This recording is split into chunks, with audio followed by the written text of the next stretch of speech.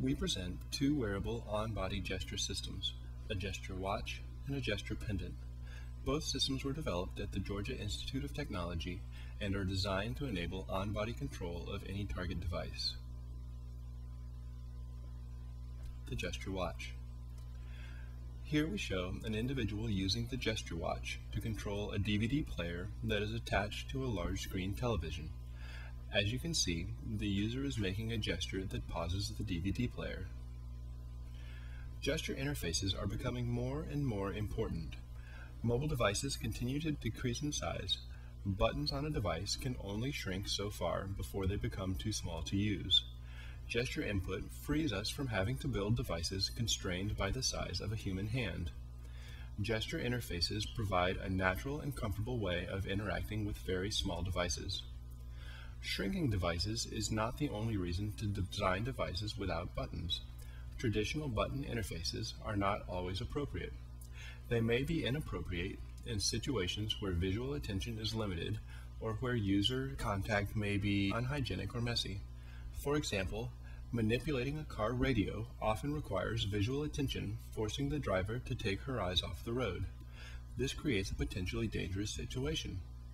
Likewise, a surgeon may not want to touch medical equipment while operating, but still wish to control devices such as microscopes or medical monitors. Non-contact gesture recognition can overcome many of these limitations, but has had limited application in mobile computing to date. The gesture pendant.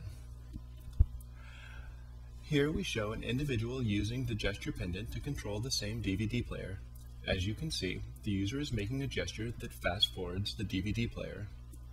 Both the gesture watch and the gesture pendant bring gestural input to the mobile world. Gesture interfaces can be integrated into the smallest of devices, may be performed touch-free, and can often be performed while physically moving. In addition, gesture interfaces can enable users with physical disabilities to use computing devices that were formerly inaccessible. The gesture watch is made up of five proximity sensors that operate at a distance of approximately 40 centimeters. The sensors are connected to a BlueSense development board. Four sensors point up to track the hand gestures, one sensor points forward and acts as a trigger, turning the device on or off.